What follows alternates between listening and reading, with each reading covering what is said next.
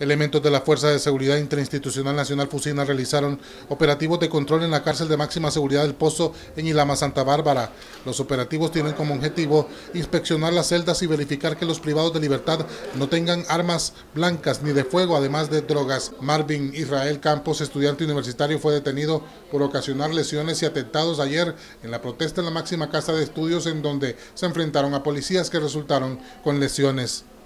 En el Hospital Escuela Universitario se atendió de emergencia a Carlos Alberto Oliva, procedente de San Esteban Olancho, quien recibió dos disparos en las piernas por parte de un sujeto conocido, pero que bajo los efectos del alcohol atentó contra su vida. Su estado de salud es crítico, informaron galenos. La Policía Nacional busca a Marcio Ariel Sarmiento Ruiz, presunto homicida del profesor del técnico Honduras, Mario Alberto Morazán, ya se emitieron las alertas para evitar la posible salida del país del sospechoso, quien cuenta con orden de captura.